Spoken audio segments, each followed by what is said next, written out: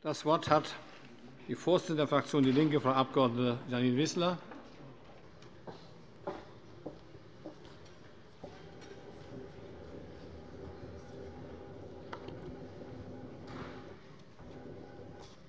Herr Präsident, meine Damen und Herren! Wir erinnern heute an die Gründung des Landes Hessen und das Inkrafttreten der Hessischen Verfassung vor 70 Jahren. Nie wieder Krieg, nie wieder Faschismus. Das waren die Lehren aus dem Holocaust und dem Zweiten Weltkrieg. Viele Menschen, die 1945 aus Konzentrationslagern und Gefängnissen der Nazis befreit worden waren oder aus dem Exil zurückkehrten, machten sich daran, eine neue, eine demokratische Gesellschaft aufzubauen. Die Atmosphäre dieses Neubeginns 1945 beschrieb Elisabeth Selbert, eine der Mütter des Grundgesetzes und der Hessischen Verfassung, wie ich finde, eindrücklich in ihrer Erinnerung an das erste Treffen von Sozialdemokraten im Kasseler Rathaus kurz nach Kriegsende. Sie war um 4 Uhr morgens aufgestanden, um sich auf den sechsstündigen Fußweg von ihrem Wohnort Melsungen nach Kassel zu machen. Ich zitiere. Die erste Zusammenkunft hessischer Sozialdemokraten nach dem Hitlerreich. Ich empfinde heute noch Rührung über die Freude, dass wir noch da waren. Über jeden haben wir uns gefreut, der noch oder wieder da war. Es war eine unendliche Freude darüber, dass wir wieder frei atmen konnten. Wieder frei atmen können. Nach der Befreiung vom Faschismus entwickelten sich an vielen Orten gesellschaftliche Bewegungen, die auch durch Landesverfassungen den Grundstein für ein neues gesellschaftliches Gebäude legen wollten. Darunter viele Verfolgte des Naziregimes, Gewerkschafter, Kommunisten, Sozialdemokraten, Christen. Nach dem Zweiten Weltkrieg gab es einen breiten gesellschaftlichen Konsens, dass eine politische, und wirtschaftliche Neuordnung, dass eine politische auch eine wirtschaftliche Neuordnung bedeuten müsse. Nicht nur von SPD und KPD, sondern bis in die Reihen der Union wurde die Auffassung vertreten, dass Zitat, das kapitalistische Wirtschaftssystem den staatlichen und sozialen Lebensinteressen des deutschen Volkes nicht gerecht geworden sei, wie es im ALA CDU-Parteiprogramm von 1947 heißt. Denn, Zitat, bei einer Formaldemokratie in der Politik und beim Vorhandensein eines Absolutismus in der Wirtschaft kann niemals eine Grundlage für eine sinnvolle Neuordnung des wirtschaftlichen und gesellschaftlichen Lebens gefunden werden. Meine Damen und Herren, dieses Zitat stammt nicht von Karl Marx, es stammt von Karl Arnold, Mitbegründer der CDU und ehemaliger Ministerpräsident von Nordrhein-Westfalen. Die Hessische Verfassung ist ein Bekenntnis zum Frieden, zum Antifaschismus, zur Gleichheit und Freiheit der Menschen, zu sozialen Rechten und zur Beschränkung wirtschaftlicher Macht. Sie war die erste Landesverfassung, die nach dem Zweiten Weltkrieg in Deutschland verabschiedet wurde, am 1. Dezember 1946 durch Volksentscheid. 76,9% der Wähler stimmten für die Verfassung. Frieden, Völkerverständigung und die Ächtung des Krieges sind zentraler Bestandteil der Hessischen Verfassung. Art. 69 besagt, jede Handlung, die mit der Absicht vorgenommen wird, einen Krieg vorzubereiten, ist verfassungswidrig. Die Lehre aus dem Aufstieg des Faschismus zu ziehen, bedeutete, Freiheit, Gleichheit und Menschenrechte in der Verfassung als unveräußerlich zu verankern, ebenso wie die Demokratisierung und Gemeinwohlorientierung der Wirtschaft. An vielen Stellen in der Hessischen Verfassung zeigt sich dieser antikapitalistische Grundansatz und das Ziel einer wirtschaftlichen und sozialen Demokratie. Denn vielen war noch in lebendiger Erinnerung, dass es auch der Druck und Einfluss des Großkapitals war, der zum Aufstieg der Nazis führte. Wolfgang Abendroth schrieb, Abgesehen von Teilen der liberaldemokratischen Parteien waren sich alle politischen Parteien, zunächst mit den Gewerkschaften, in der Erkenntnis einig, dass der Weg in die faschistische Diktatur nur durch die spätkapitalistische Struktur der Wirtschaft und das Bündnis zwischen dem Management der Wirtschaft und der Nationalsozialistischen Partei möglich geworden war. Deshalb war die Überzeugung Gemeingut, dass diese Struktur verändert werden müsste. Max Horkheimer, Max Horkheimer einer der führenden Köpfe der Frankfurter Schule, formulierte es noch etwas zugespitzer. Wer aber vom Kapitalismus nicht reden will, sollte auch vom Faschismus schweigen. So nehmen Und so nehmen die sozialen und wirtschaftlichen Rechte und die Pflichten einen großen Raum in der Hessischen Verfassung ein. Sie finden sich gleich im ersten Hauptteil unter der Überschrift Die Rechte des Menschen. So in Art. 38. Die Wirtschaft des Landes hat die Aufgabe, dem Wohle des ganzen Volkes und der Befriedigung seines Bedarfs zu dienen. Zu diesem Zwecke hat das Gesetz die Maßnahmen anzuordnen, die erforderlich sind, um die Erzeugung, Herstellung und Verteilung sinnvoll zu lenken und jedermann einen gerechten Anteil an dem wirtschaftlichen Ergebnis aller Arbeit zu sichern und ihn vor Ausbeutung zu schützen. Sinnvoll lenken, meine Damen und Herren, heißt eben nicht, es dem Markt zu überlassen.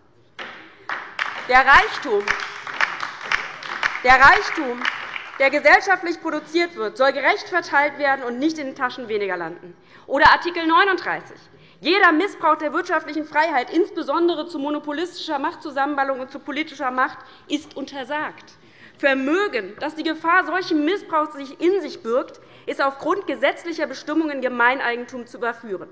Bei festgestelltem Missbrauch wirtschaftlicher Macht ist dabei sogar auf Entschädigung zu verzichten. Großgrundbesitz sollte im Rahmen einer Bodenreform eingezogen werden. Meine Damen und Herren, der Gesetzgeber hat diese Artikel in der Verfassung nie umgesetzt. Leider. Was würde es bedeuten, wenn wir diese Verfassungsartikel heute umsetzen würden? Was würde es bedeuten für Konzerne wie E.ON und RWE, für Amazon oder die in Hessen ansässige Eigentümerfamilie von BMW, wenn Kapital begrenzt wäre? Ich finde, bei den Energiekonzernen sehen wir ja beispielhaft, wie diese monopolistische Zusammenballung und ein daraus resultierender enormer politischer Einfluss z. B. die Energiewende ausbremsen. Die heutigen Eigentumsverhältnisse blockieren also gesellschaftliche Entwicklungen. Wirtschaftliche Macht ist gleichbedeutend mit politischer Macht, aber umgekehrt gilt das weit weniger. Parlamente und Regierungen sind erpressbar, wenn Konzerne über die Infrastruktur und Arbeitsplätze entscheiden. Dann bestimmen Sie die politische Agenda, egal welche Parteien regieren. Und genau das sollte durch diese Verfassungsartikel verändert werden und verhindert werden. Meine Damen und Herren. Und die Verfassung geht noch einen Schritt weiter und fordert in Art. 41 die Sozialisierung der Schlüsselindustrien. Über diesen Artikel wurde in einer Volksabstimmung gesondert abgestimmt, darunter Bergbau, Betriebe der Eisen- und Stahlerzeugung, die Betriebe der Energiewirtschaft, aber auch das Verkehrswesen vom Staat beaufsichtigt und verwaltet werden sollten, die Großbanken und die Versicherungsunternehmen. Das geht weit über die betriebliche Mitbestimmung hinaus. Es geht um eine weitreichende Demokratisierung, und zwar nicht nur einzelner Betriebe, sondern ganzer Wirtschaftsbranchen, Schlüsselindustrien, die nach Ansicht der Mütter und Väter des Grundgesetzes und der Hessischen Verfassung so wichtig für die Gesellschaft sind, dass sie nicht der Privatwirtschaft und den Marktmechanismen überlassen werden können. Der damalige hessische Wirtschaftsminister Harald Koch sagte, wovon man sich auch immer leiten lassen mag, von christlicher, von sozialer, von politischer Verantwortung, der Weg in eine glücklichere Zukunft führt über den Sozialismus zur Demokratie, so der damalige Wirtschaftsminister, der versuchte, durch Gesetze diese Sozialisierung umzusetzen. Meine Damen und Herren, das Wort Privatisierung taucht in dieser Verfassung gar nicht auf, und zwar weder in Bezug auf Kliniken noch in Bezug auf Justizvollzugsanstalten und auch nicht in Bezug auf alles andere, was in den letzten Jahren ja so ausverkauft wurde. Und auch bei Art. 47, bei den Besteuerungsgrundsätzen, klaffen Verfassungstext und Realität leider weit auseinander. Denn darin heißt es, dass Einkommen und Vermögen nach sozialen Gesichtspunkten besteuert werden müssen. In der Realität werden Vermögen gar nicht besteuert. Und auch hier würde ich mir wünschen, dass diese Verfassung etwas ernster genommen würde. Erwin Stein CDU, erster Kultusminister in Hessen sowie später 20 Jahre lang Verfassungsrichter am Bundesverfassungsgericht, schrieb 1976 zum 30. Jahrestag der Hessischen Verfassung, mit der Anerkennung der sozialen Achtung des Menschen vollzieht die Verfassung die geistige Wende zum Sozialstaat und erteilt damit den Staatsorganen zugleich den Verfassungsauftrag, eine unverkümmerte, freie Existenz der Menschen zu pflegen und zu fördern. Dazu gehören vor allem das Recht auf Arbeit und Erholung, das Recht auf Schutz der Gesundheit, das Recht auf Bildung und Erziehung, vor allem die Schulgeld- und Lehrmittelfreiheit sowie das Recht auf Teilnahme am sozialen und kulturellen Fortschritt. Hinzufügen könnte man das Streikrecht und das Verbot von Aussperrungen. Auch das sind wichtige Errungenschaften für die Beschäftigten und ihre Gewerkschaften. Laut Art. 33 muss gleicher Lohn für gleiche Arbeit gelten, und der Lohn muss zum Lebensbedarf für die Arbeitenden und seine unterhaltspflichtigen Angehörigen ausreichen. die Entgeltungleichheit zwischen Männern und Frauen und die über 300.000 Menschen, die in Hessen zu Niedriglöhnen arbeiten, sind demnach ein permanenter Verfassungsbruch. Und die Hessische Verfassung beinhaltet auch ein Bekenntnis zum Acht-Stunden-Tag und nicht zur 42-Stunden-Woche für Beamten. Meine Damen und Herren. Und ich möchte ein weiteres, auf ein weiteres Grundrecht in dieser Verfassung hinweisen. In der Hessischen Verfassung und später im Grundgesetz wurde ein Grundrecht niedergeschrieben, das eine wichtige Errungenschaft ist, auch aus der Lehre der Geschichte, das Asylrecht. Dieses Asylrecht wurde ausgehöhlt durch den Asylkompromiss 1992 auf Bundesebene und auch durch jüngste Gesetzgebung. Für uns ist das Asylrecht ein unveräußerliches Grundrecht, das keine Obergrenzen kennt und verteidigt werden muss. Auch die Hessische Verfassung auch die Hessische Verfassung enthält in Art. 7 ein Bekenntnis zum Asylrecht. Fremde genießen den Schutz vor Auslieferung und Ausweisung, wenn sie unter Verletzung der in dieser Verfassung niedergelegten Grundrechte im Ausland verfolgt werden und nach Hessen geflohen sind. Zu diesen in der Verfassung niedergelegten Grundrechten gehört, dass Leben und Gesundheit und Würde des Menschen unantastbar sind. Meine Damen und Herren, wer die Hessische Verfassung ernst nimmt, der darf nicht in Länder wie nach Afghanistan abschieben. Menschen, die vor Not, Elend, Verfolgung und Krieg fliehen, dürfen nicht abgewiesen und abgeschoben werden. Und Rassismus und Vorurteile bekämpft man am besten durch eine Willkommenskultur und, um es in den Worten des früheren Ministerpräsidenten Georg August Zinn zu sagen, Hesse ist, wer Hesse sein will. Meine Damen und Herren, der 70. Jahrestag des Inkrafttretens der Hessischen Verfassung ist Anlass, kritisch zu hinterfragen, in welcher Verfassung Hessen heute ist und wie weit die Errungenschaften und Ziele, die in der Verfassung verankert sind, verwirklicht sind. Und leider klafft da zwischen Verfassungsanspruch und Wirklichkeit eine gewaltige Lücke. Wir leben in einem Land, in dem die einen mit Wohnraum spekulieren, während andere kein Dach über dem Kopf haben.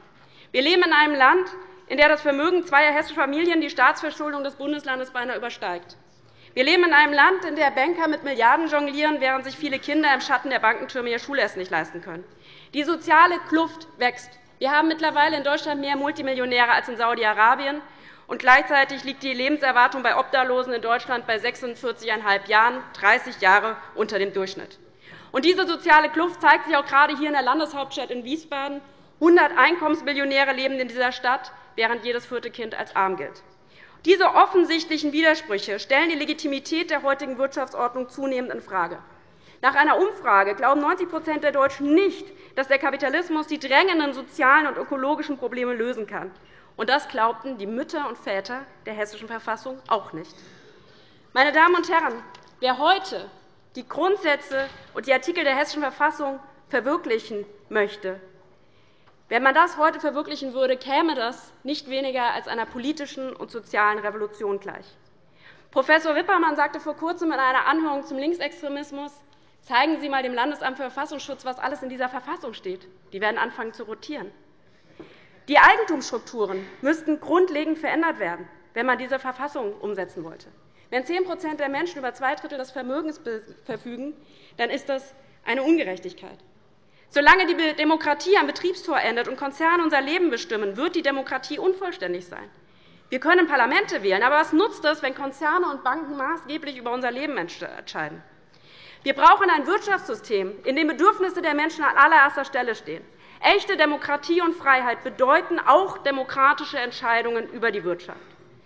Die Ideale der bürgerlichen Revolutionen von Freiheit, Gleichheit und Demokratie sind nicht einlösbar solange das Privateigentum sakrosant bleibt und die soziale Ungleichheit nicht beseitigt wird. Ohne wirtschaftliche, soziale und kulturelle Rechte bleiben die bürgerlichen und politischen Rechte weitgehend wirkungslos. Es geht um Freiheit und um ein selbstbestimmtes Leben. Es geht um den Zugang zu Bildung und Kultur und um zwischenmenschliche Beziehungen, bei denen es keinen Herrn und keinen Knecht, keinen Herrscher und keinen Beherrschten gibt. Alle fünf Jahre ein Parlament zu wählen, kann nicht das höchste Stadium der Demokratie sein. Auch hier der Verweis auf die Verfassung. In Art. 116 heißt es, dass die Gesetzgebung ausgeübt wird erstens durch das Volk im Wege des Volksentscheids und erst an zweiter Stelle wird der Landtag genannt. Recht und Verfassung sind immer Ausdruck gesellschaftlicher Kräfteverhältnisse. Es ist auf die wechselvolle Geschichte fortschrittlicher Bewegungen in diesem Bundesland hingewiesen worden. Die Verfassung die Verfassung zu schützen bedeutet, sich gegen jeden Versuch zu wenden, die politischen und sozialen Errungenschaften beispielsweise in der Enquete-Kommission preiszugeben und zu entkernen. Wir halten es für richtig, dass Volksbegehren erleichtert werden, dass das passive Wahlalter gesenkt wird. Die Todesstrafe ist abgeschafft, und das sollte sie auch im Verfassungstext deutlich werden. Diese Veränderungen tragen wir mit. Die Verfassung sieht aber eben keine marktkonforme Demokratie vor, wie es die Kanzlerin ausdrückte. Ganz im Gegenteil. Wir täten besser daran, die Realität im Sinne der Verfassung zu ändern, anstatt die Verfassung den gesellschaftlichen Missständen anzupassen. Meine Damen und Herren, Wir wollen die sozialen und politischen Rechte mit Leben füllen und Alternativen zum Kapitalismus entwickeln. Und dabei ist diese Verfassung kein Hindernis, sondern eine Verbündete. Vielen Dank.